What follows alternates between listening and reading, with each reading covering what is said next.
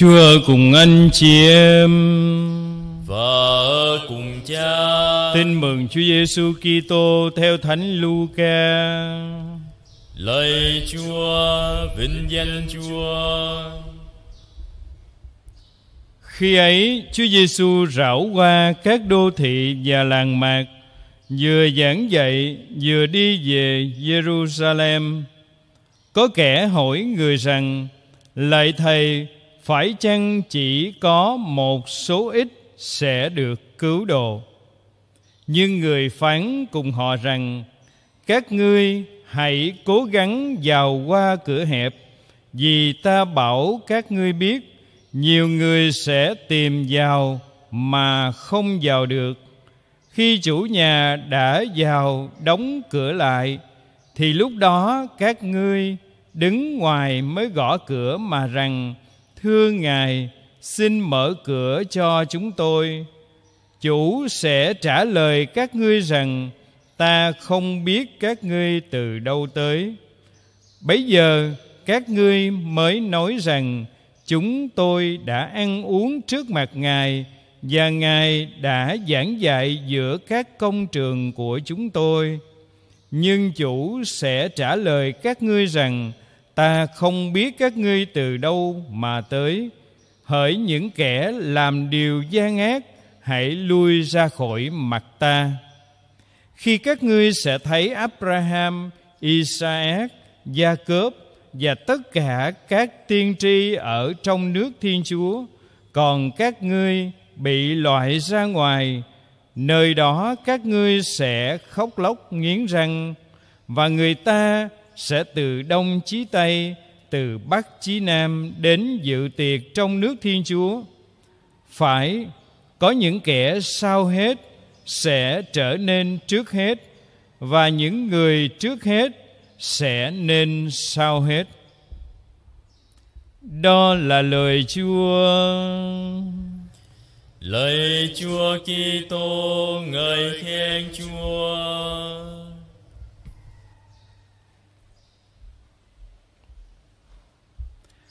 Thương bạn chị em, trong quyển thần học Summa de Dones Sancti Joseph những ân huệ của Thánh Giuse của cha Isidoro Isolani có đoạn viết như thế này. Các nhân đức được diễn tả cách phù hợp và theo trật tự các chữ cái trong tên Giuse là công chính nơi vua David dân lời ở Abraham khôn ngoan như Salomon kinh nghiệm nơi vua Zeconia, kiên nhẫn ở Zerubbabel và sự khiêm nhường ở các tổ phụ sau cùng và những người rốt hết. Như vậy thương bạn chị em, cha Isidoro đã diễn tả các nhân đức, những ân huệ của Thánh Du Xe trong tên của Ngài bằng cách phân tách ra các ký tự để rồi từ đó diễn tả bằng những cái đức tính, những cái ân huệ mà thánh cả nhận được từ Thiên Chúa. Chúng ta đã lần lượt tìm hiểu và chiêm ngắm ba nhân đức đầu tiên của thánh cả: công chính, vâng lời và khôn ngoan. Ngày hôm nay con xin mời ông bạn chị em chúng ta cùng nhau chiêm ngắm ân huệ của thánh cả nơi ký tự thứ tư ký tự e viết tắt bởi từ experientia dịch sang tiếng việt có nghĩa là khôn ngoan, trải nghiệm. Chúng ta thử nhìn vào ân huệ của thánh du xe ở cái ân huệ kinh nghiệm, trải nghiệm của ngài. Khi nói đến kinh nghiệm thương bạn, chị em, có người thắc mắc, kinh nghiệm nơi thánh du xe là cái kinh nghiệm gì? Và ngài đã trải nghiệm nó như thế nào? Cũng có người tự trả lời như thế này.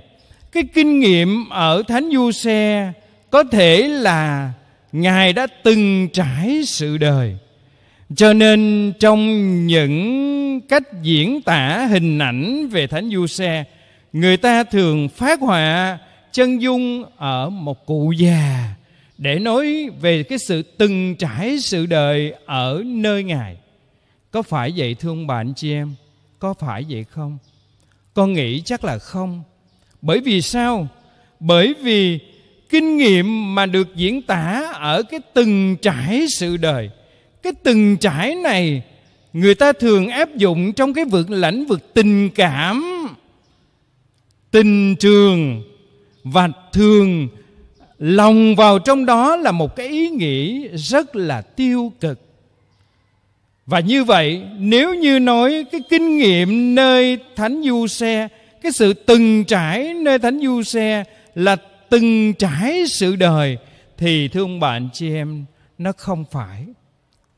Chúng ta nhìn lại cách diễn tả của cha Isodoro để chúng ta thấy.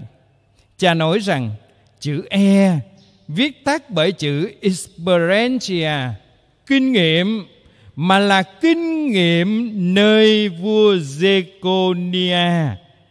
Vậy thì chúng ta phải biết vua Zeconia là ai và cái kinh nghiệm của ông đã trải qua là cái kinh nghiệm gì.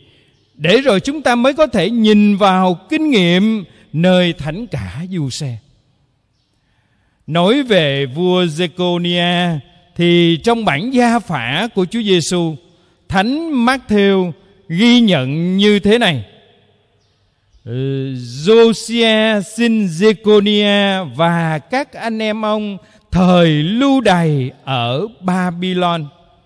Sau thời lưu đày ở Babylon, Zeconia sinh Salatien, vân vân. Trích trong bản gia phả của Chúa Giêsu thì chúng ta thấy Zeconia ở trong cái khoảng dân chúa đang bị lưu đày ở Babylon. Và nếu như chúng ta tìm về lịch sử dân Do Thái thì chúng ta sẽ thấy rằng sau thời của vua David Salomon, một cái thời rất hưng thịnh của đất nước Israel thì là cuộc chia cách đất nước Israel phân chia thành hai vương quốc nhỏ là Israel và Judah. Và thưa ông bà anh chị em, từ khi phân chia hai đất nước, hai vương quốc thì các vua của vương quốc Israel lẫn các vua của Judah không hướng dẫn dân Chúa tuân theo luật Chúa, đi theo con đường của Chúa mà lại làm cho dân chúng đi xa rời Thiên Chúa bằng việc thờ bằng việc thờ ngẫu tượng và sống đời sống luân lý một cách rất suy đồi. Chẳng những vậy, khi được Chúa sai các tiên tri đến cảnh báo thì họ lại để ngoài tai những cái lời nhắc nhở của các tiên tri và họ vẫn sống một sống, cuộc sống, đời sống suy đồi của họ. Chính vì vậy, thiên chúa đã phải chữa trị họ bằng một liều thuốc mạnh để cho họ bị giặc giả xâm chiếm và bắt họ phải đi lưu đài. Những cuộc lưu đài xảy ra và đặc biệt là cuộc lưu đài ở Babylon khi ấy thì tất cả vua, quan lẫn dân chúng bị bắt đi lưu đày sang Babylon ở đó. Và thương bạn chị em, sống trong cảnh lưu đày, dân chúa phải chịu khổ nhọc, đau khổ cả về thể xác lẫn tinh thần. Và chính trong đau khổ như vậy họ mới nhìn lại đời sống của họ và nhận ra rằng chính đời sống suy đồi của họ đã làm cho họ bị như thế và chính vì vậy, họ đã ăn năn sám hối, xin chúa tha thứ tội lỗi của họ, để rồi xin Chúa đưa họ trở về quê cha đất tổ. Và quả thật, khi họ sám hối thì Chúa đã tha thứ và đã làm cho họ được hồi hương sau 50 năm bị lưu đày ở đất khách quê người. Như thế thương bạn chị em, khi nhắc đến Zeconia và cái thời lưu đày để nói rằng đã trải qua cái kinh nghiệm của cuộc lưu đày trong đau khổ và chính lưu đày trong đau khổ đó, làm cho dân chúa được củng cố niềm tin thêm. Vậy thì nhìn vào thánh cả du xe chắc rằng thánh cả cũng sẽ như vua Zeconia cũng trải qua kinh nghiệm đau thương. Nhưng mà không phải là cuộc lưu đày, ông bà, anh chị em, mà là cuộc chạy trốn thánh cả du xe đã trải qua kinh nghiệm đau thương của cuộc chạy trốn chạy trốn khỏi sự bách hại, bắt hại của vua Herode, tìm giết trẻ hài nhi Giêsu và thánh cả đã phải bôn ba nơi đất khách quê người để gìn giữ Chúa Giêsu vị cứu tinh của nhân loại.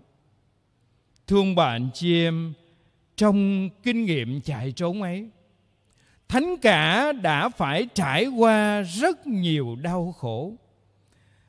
Từ cái việc tránh sự lùng bắt của vua Herode cho tới phải bôn ba tìm cái miếng ăn cái, cái áo mặc cái chỗ ở cho gia đình nơi đất khách quê người à, rồi phải tìm cách thích ứng với cái môi trường sống mà mình đến đó như là một cái nơi xa lạ.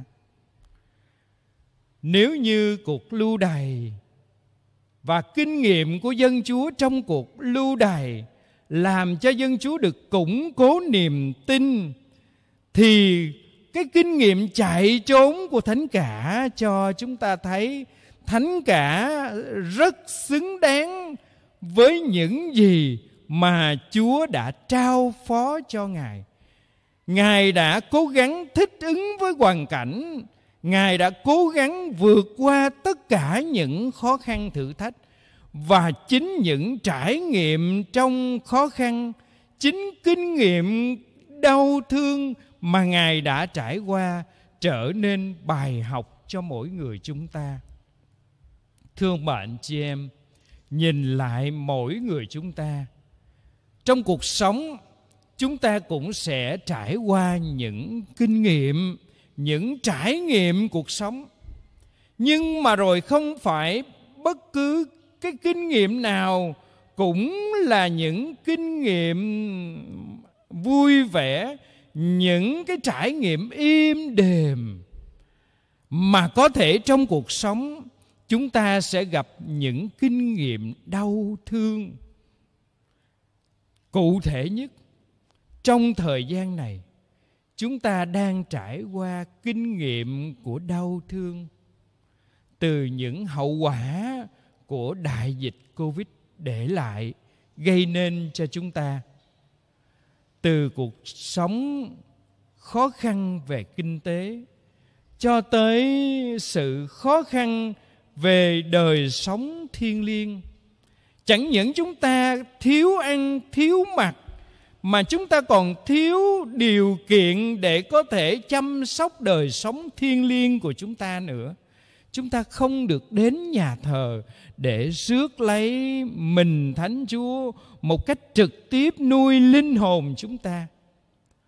Rồi thì chúng ta bị đe dọa về sức khỏe sức khỏe từ thể lý là căn bệnh. Cho tới sức khỏe về tinh thần, về tâm hồn bởi sự lo âu của dịch bệnh. Trải qua kinh nghiệm đau thương, đau khổ như vậy, chúng ta học được bài học gì thương bạn chị em? Nhìn vào kinh nghiệm của thánh du xe chúng ta thấy gặp phải đau khổ không làm cho thánh du xe phải ngã quỵ. Tuy đau khổ nhưng không làm cho ngài ngã quỵ, nhưng đó là động cơ thúc đẩy ngài phải cố gắng hơn. Cố gắng để phòng tránh, cố gắng để uyển chuyển và cố gắng để thích ứng trước những khó khăn mà mình đối mặt. Trải qua cái kinh nghiệm với cái sự cố gắng như vậy, thánh cả đã giúp cho mình, giúp cho gia đình vượt qua được khó khăn. Chúng ta cũng vậy, thưa ông bà, anh chị em. Đại dịch làm cho chúng ta gặp phải khó khăn, thử thách rất nhiều. Nhưng không vì thế mà làm cho chúng ta phải ngã quỵ. Chúng ta đừng để nó làm cho chúng ta phải ngã quỵ mà hãy cố gắng. Cố gắng cái gì? Cố gắng vươn lên. Cố gắng giữ vững cái niềm tin của mình. Cố gắng giữ vững cái niềm hy vọng của mình vào một cái tương lai tươi sáng với ơn chúa giúp sức cho chúng ta. Và chính những cái ý thức và cố gắng như vậy sẽ giúp cho chúng ta vươn lên và vượt qua những khó khăn thử thách xin cho mỗi người chúng ta biết nhìn vào và học hỏi những kinh nghiệm của thánh du xe trước khó khăn thử thách, để chúng ta luôn được vững vàng trước những sóng gió của cuộc đời. Amen.